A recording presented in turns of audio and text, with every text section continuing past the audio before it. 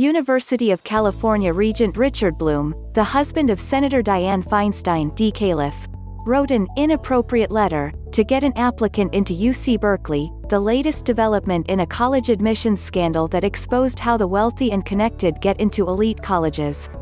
My cousin's brother wanted to get into Davis.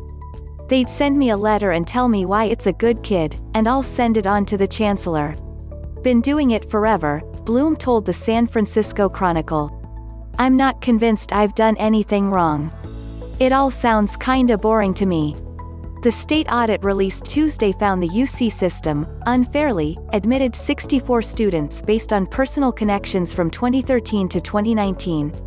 The audit was launched in response to the Varsity Blues College admissions scandal where prosecutors so far have charged 53 people for participating in a wide-ranging scheme to get students, usually the offspring of wealthy or connected families, into elite colleges using various forms of cheating and bribery.